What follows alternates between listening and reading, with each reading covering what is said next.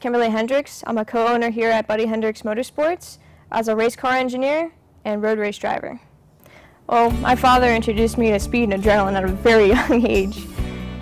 And I watched his success through the years, leading professional teams to race wins, championships, and driving himself. I wanted to be like him, and I wanted to carry on his legacy.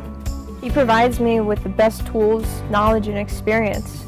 I mean, 48 years of experience being taught to me at 25 years old, it really sets me on a fast track. Aside from my family, my friends are my biggest influence. They support me in ways that just drive me harder to succeed.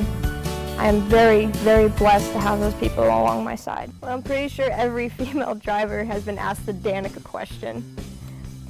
In the public eye, she's well known as like a novelty. Every female racer has their own skills.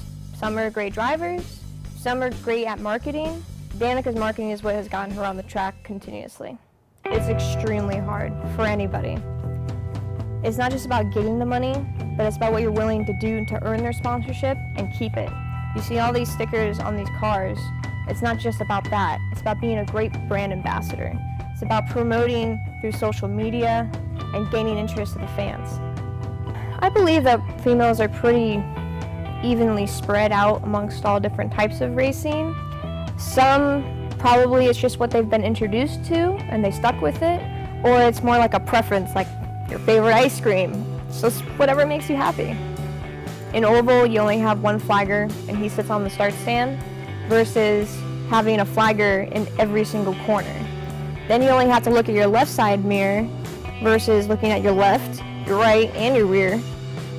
The similarity is, is that at the end of a straight, there's a turn.